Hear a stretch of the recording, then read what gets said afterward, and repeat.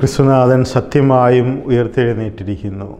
നമ്മുടെ ക്രിസ്തു മരണത്തെ ജയിച്ച് ഉത്ഥാനം ചെയ്തതിന്റെ ഉത്ഥാന തിരുനാളിന്റെ സന്തോഷത്തിലാണ് തിരുസഭ ഇന്ന്. അപ്പോസ്റ്റൽ പ്രവർത്തനങ്ങളിൽ പത്താം അധ്യായത്തിൽ നാം കാണുന്നു വിശുദ്ധ പത്രോസ്ലീഹ ദീർഘമായൊരു പ്രഭാഷണം നടത്തുകയാണ്. യേശുവിന്റെ മനുഷ്യവതാരത്തെക്കുറിച്ചും അതോടൊപ്പം തന്നെ തങ്ങൾ അവിടുന്ന് സത്യമായും മരിച്ചവരിൽ നിന്ന് ഉയർത്തെഴുന്നേറ്റു എന്ന് നേരിട്ട് കണ്ടു എന്നും വിശുദ്ധ പത്രോസ്ലീഹ സാക്ഷ്യം നൽകുന്നുണ്ട്.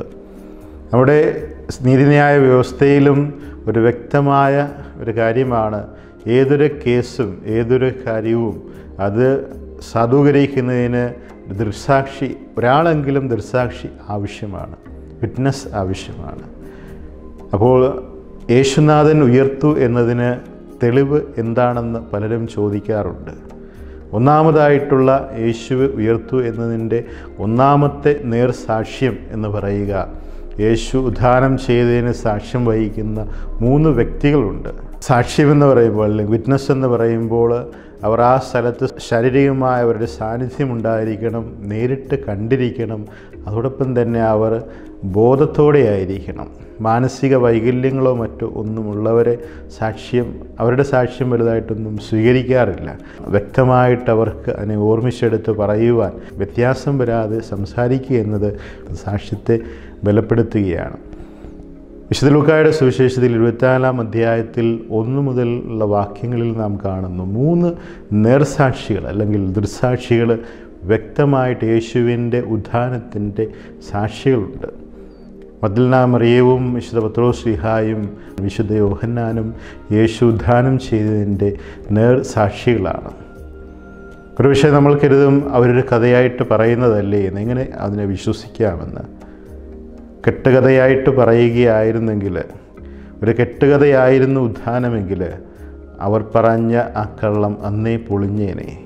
എന്നേ ആ കള്ളം തകർന്നടിഞ്ഞേനെ. എന്നാൽ രണ്ടായിരം വർഷങ്ങൾക്കിപ്പുറവും അതേ ശോഭയോടെ ക്രൈസ്തവർ ഇന്നും യേശുവിന്റെ ഉദ്ധാനത്തെ വിശ്വാസ സത്യമായിട്ട് കരുതുന്നുണ്ടെങ്കിൽ മനസ്സിലാക്കാവുന്ന ഒരു കാര്യമാണ്. തീർച്ചയായിട്ടും ആ ദൃസാക്ഷികൾ പറഞ്ഞത് കള്ളത്തരമോ അല്ലെങ്കിൽ കെട്ടുകഥയോ ഒന്നുമായിരുന്നില്ല. അവർ നേരിട്ട് കണ്ട് അനുഭവിച്ചതിനെ ബോധ്യത്തോടെ പൂർണ ബോധ്യത്തോടെ അതേ രീതിയിൽ ഏതൊരു സമയത്തും പറയുവാനുള്ള കാര്യക്ഷമതയുണ്ടായിരുന്നു അവർക്ക്.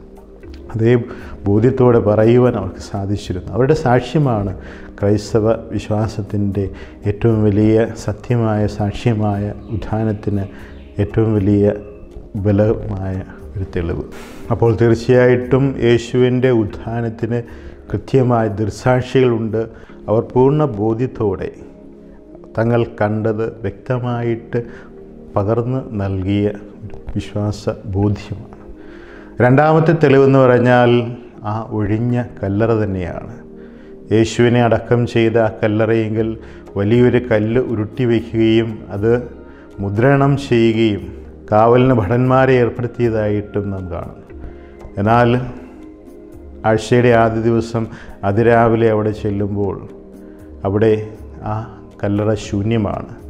യേശുവിനെ അടക്കം ചെയ്തിരുന്ന കല്ലറ ശൂന്യമാണെന്നുള്ളത് ഉത്ഥാനത്തിന്റെ വലിയ സാക്ഷ്യമാണ് തെളിവാണ്. യേശുനാഥൻ ഉത്ഥാനം ചെയ്തിട്ടില്ലായിരുന്നുവെങ്കിൽ അവിടുന്ന് യേശുവിനെ അവിടെ നിന്നും പൂർണമായിട്ടും എടുത്തുകൊണ്ട് വേറെ എവിടെയെങ്കിലും അടക്കിയിരുന്നുണ്ടെങ്കിൽ ഇതിനും പണ്ടേ ആ യേശുവിന്റെ ശരീരത്തിന്റെ അവശിഷ്ടങ്ങൾ എവിടെയെങ്കിലുമൊക്കെ കണ്ടെത്താൻ സാധിച്ചിരുന്നേനെ. അതോടൊപ്പം തന്നെ ആ ഒഴിഞ്ഞ കല്ലറയിൽ വിശ്വസ് യോഹന്നാൻ തന്നെ താൻ കണ്ടത് സാക്ഷ്യപ്പെടുത്തുന്നത് യേശുവിനെ പൊതിഞ്ഞിരുന്ന വസ്ത്രങ്ങൾ വൃത്തിയായി ചുരുട്ടി തലയ്ക്കൽ വെച്ചിരുന്നു എന്നാണ് അപ്പോൾ ഒഴിഞ്ഞ കല്ലറയും യേശുവിന്റെ ഉദ്ധാനത്തിന്റെ ഒരു തെളിവാണ്. മൂന്നാമത്തെ തെളിവ് യേശുവിൽ വിശ്വസിക്കുന്നവരുടെ ആ സമൂഹമാണ്. യേശുനാഥൻ ഉദ്ധാനം ചെയ്തതുകൊണ്ട് മാത്രമല്ല ഇന്നും ലക്ഷോപലക്ഷം വിശ്വാസികൾ യേശുവിനെ പിഞ്ചുന്നുകൊണ്ട് യേശു പറഞ്ഞ വാക്യങ്ങളും വചനങ്ങളും വിശ്വസിച്ച് ആ വിശ്വാസത്തിൽ തീഷ്ണതയോടെ തുടരുന്നത് യേശുവിന്റെ ഉത്ഥാനത്തിന്റെ ഏറ്റവും വലിയൊരു തെളിവാണ്. ഉത്ഥാനം സത്യമല്ലായിരുന്നെങ്കിൽ ഞങ്ങൾ പ്രഘോഷിക്കുന്ന വിശ്വാസം വ്യർത്ഥമായിരുന്നു എന്ന് പൗലൂസ്ലീഹ പറയുന്നതും അതുകൊണ്ട് തന്നെയാണ്. തീർച്ചയായിട്ടും ഉത്ഥാനത്തിന്റെ ഒരു വലിയ തെളിവ് നമ്മൾ തന്നെയാണ് സഭ തന്നെയാണ്. നമ്മൾ ഓരോരുത്തരും തന്നെയാണ്. പ്രപഞ്ചം സൃഷ്ടിച്ച കർത്താവിന് തന്നെ തന്നെ ഉയർപ്പിച്ച് മരണത്തെ ജയിക്കുവാൻ സാധിക്കില്ലെന്ന് ആർക്കാണ് പറയാൻ സാധിക്കുക? മരണത്തെയും ജയിച്ചവനാണ് ക്രിസ്തു. നമുക്ക് സന്തോഷിക്കാം. മരണത്തിന് പോലും നമ്മുടെ മേൽ അധികാരം ചുമത്തുവാൻ സാധിക്കുകയില്ലെന്ന വലിയൊരു വിശ്വാസത്തിലേക്കും ബോധ്യത്തിലേക്കുമാണ് ഉത്ഥാനം നമ്മെ കൊണ്ടു ചെന്ന് എത്തിക്കുക. യേശുവിന്റെ ഉത്ഥാനം അന്ധകാരത്തിന് മേലുള്ള ആധിപത്യമായിരുന്നു. പാപത്തിന് മേലുള്ള ആധിപത്യമായിരുന്നു. അതോടൊപ്പം തന്നെ അന്ധകാരത്തിന്റെ ദൂതനായ പാപത്തിന്റെ പ്രവാചകനായ സാത്താന് എതിരെയുള്ള വിജയവുമായിരുന്നു ഉത്ഥാനം. ഉത്ഥാനം അതോടൊപ്പം തന്നെ ഒരു പുതിയ പ്രത്യാശയും പ്രതീക്ഷയും അവനിൽ വിശ്വസിക്കുന്ന ഏവർക്കും നൽകുന്നു. അവിടുന്ന് പറഞ്ഞ വാക്കുകൾ ഓരോന്നും അക്ഷരം പ്രതി പൂർത്തിയായിട്ടുണ്ട്. യേശു പറഞ്ഞ വാക്കുകളിൽ വാഗ്ദാനങ്ങളിൽ വിശ്വസ്തനായ യേശുനാഥൻ പറഞ്ഞ വചനമാണ് എന്നിൽ വിശ്വസിക്കുന്നവൻ ഉറപ്പായും അവന് നിത്യജീവനുണ്ട്. ഞാൻ വഴിയും സത്യവും ജീവനുമാണ്. എന്നിൽ വിശ്വസിക്കുന്നവന് നിത്യജീവനുണ്ടെന്ന് പറയുന്നത് യേശുവാണ്. യേശുവിനെ വിശ്വസിക്കുന്നവർ ഉറപ്പായും യേശുവിനോടൊപ്പം ഉദ്ധാനം ചെയ്യുമെന്ന് പറയുന്നതും യേശുവാണ്.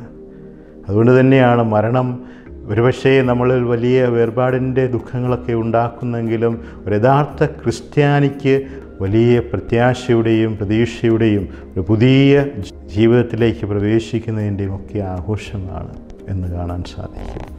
തീർച്ചയായിട്ടും യേശുവിന്റെ ഉദ്ധാനം നമ്മെ പഠിപ്പിക്കുക മരണം യേശുവിന്റെ ഉദ്ധാനത്തിലുള്ള പങ്കുചേരലിന് നമ്മെ സഹായിക്കുന്നു എന്നാണ്. മരണത്തിലൂടെ ഒരു പുതിയ ജീവിതത്തിലേക്ക് നാം കടക്കുന്നു എന്ന പ്രത്യാശ. തീർച്ചയായിട്ടും ഈ ഉത്ഥാന തിരുനാളിൽ നാം പങ്കുചേരുമ്പോൾ നമ്മുടെയും എല്ലാ തരത്തിലുള്ള പാപാവസ്ഥകളെയും അവിടുന്ന് പാപത്തെ അതിജീവിച്ചതുപോലെ പാപത്തെ ജയിച്ചതുപോലെ നമ്മുടെയും പാപത്തെ ജയിച്ചൊരു പുതിയ വ്യക്തിയെ ഉയർത്തെഴുന്നേൽക്കുവാൻ സഹായിക്കണമേ എന്ന് പ്രാർത്ഥിക്കുക. സാത്താനെതിരെ പോരാടുവാനും സാത്താനെതിരെ വിജയിക്കുവാനും ഉത്ഥാനം നമ്മെ സഹായിക്കണമേ എന്ന് പ്രാർത്ഥിക്കുക. അതോടൊപ്പം തന്നെ. പാപത്തിന്റെയും പാപത്തിന്റെയും തിന്മയുടെയും ക്രൂരതയുടെയും ഒരു ലോകത്തിനാണ് ഒരുപക്ഷെ നമ്മൾ ഇന്ന് സാക്ഷികളായിക്കൊണ്ടിരിക്കുന്നത്. ആ ലോകത്തിലും ഒരു പുത്തൻ പ്രതീക്ഷയോടെ ഒരു പുതിയ ജീവിതം സമാധാനത്തിന്റെയും സന്തോഷത്തിന്റെയും പുലരികൾ വന്ന് ഭവിക്കുവാൻ പ്രാർത്ഥിക്കാം. എല്ലാ തരത്തിലുള്ള യുദ്ധക്കെടുതികളിൽ നിന്ന് എല്ലാ മഹാമാരികളിൽ നിന്ന് ലോകത്തെ അസമാധാനത്തിലേക്ക് നയിക്കുന്ന എല്ലാ തരത്തിലുള്ള വിപത്തുകളിൽ നിന്ന് ഒരുപക്ഷെ വ്യക്തികളാകാം രാജ്യങ്ങളാകാം ഒരുപക്ഷെ ചില സംഘടനകളാകാം സമൂഹങ്ങളാകാം. ഏതൊക്കെയാണോ നാശത്തിന്റെ വിത്ത് വിതയ്ക്കുന്നത് വിനാശത്തിന്റെയും അസമാധാനത്തിന്റെയും വിത്ത് വിതയ്ക്കുന്നത് അവിടെയൊക്കെ സമാധാനം വന്ന് പുലരുവാൻ യേശുവിന്റെ പ്രഭ ഉത്ഥാന പുലരി അവർക്കും ആസ്വദിക്കുവാനുള്ള കൃപ നൽകണമെന്ന് പ്രാർത്ഥിക്കാം. ഉത്ഥാന പുലരിക്കായിട്ട് നമുക്കും പ്രാർത്ഥിക്കാം. ഉത്ഥാന പുലരിയെ നമുക്ക് പ്രതീക്ഷിക്കാം. ഈ ഈസ്റ്റർ ഒരു ഉയർത്തെഴുന്നേൽപ്പിന്റെ തിരുനാളായി തീരട്ടെ. എല്ലാ തരത്തിലുള്ള അസമാധാനത്തിൽ നിന്നുള്ള ഉയർത്തെഴുന്നേൽപ്പ് എല്ലാ തരത്തിലുമുള്ള സ്നേഹമില്ലായ്മയിൽ നിന്നുള്ള ഉയർത്തെഴുന്നേൽപ്പ് എല്ലാ തരത്തിലുമുള്ള തിന്മയുടെ ചങ്ങലകൾ പൊട്ടിക്കുവാനുള്ള വലിയ കരുത്തേകുന്നൊരു ഉയർത്തെഴുന്നേൽപ്പായിട്ട് മാറട്ടെ. ഈ ഉയർപ്പ് തിരുനാളിന്റെ എല്ലാ ആശംസകളും ഭാവങ്ങളും നന്മകളും നിങ്ങൾക്കും നിങ്ങളുടെ കുടുംബങ്ങൾക്കും എന്നും ഉണ്ടാകട്ടെ എന്ന് പ്രാർത്ഥിക്കുന്നു. ഉദ്ധാനം ചെയ്ത ക്രിസ്തു നിങ്ങളേവരെയും സമൃദ്ധമായിട്ട് അനുഗ്രഹിക്കട്ടെ എന്ന് പ്രാർത്ഥിക്കുന്നു. ദൈവത്തിന്റെ അനുഗ്രഹം നിങ്ങളിൽ വന്നണയട്ടെ. അല്ലേലുയ അല്ലേലുയ.